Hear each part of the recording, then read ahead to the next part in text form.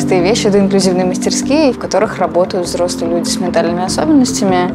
Первоначально наша задача была просто сделать открытую площадку, где люди которые не имеют никакого отношения к особенностям ментальным, там ничего про это не понимают и скорее боятся, могут встретиться с э, человеком с ментальными особенностями, а люди с ментальными особенностями могут получить новый социальный опыт. Тогда все было очень маленькое, и первое время было 8 ребят и 7 педагогов.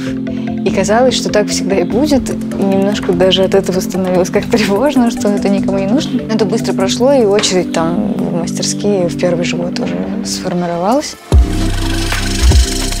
Со временем мы поняли, что ребята способны классно делать свою работу, и это стало площадкой трудоустройства.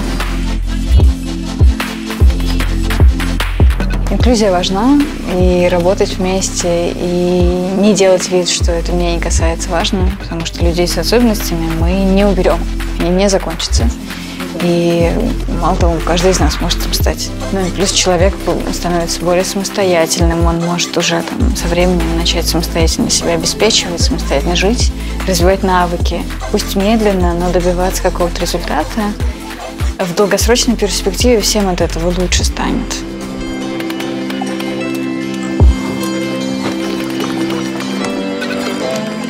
Сейчас в простых вещах 50 человек в общей сложности в простых вещах и в огурцах. Нормальное место мы строим в том числе для того, чтобы увеличить это количество, и ребят станет со временем там, спустя пару лет 120. То есть всего туда будут интегрированы 120 человек, и постепенно мы будем выводить их еще на открытый рынок труда. Соответственно, их будет, количество их будет увеличиваться, а площади можно будет уже не увеличивать. Чем быстрее мы найдем все недостающие элементы, тем быстрее эта штука запустится.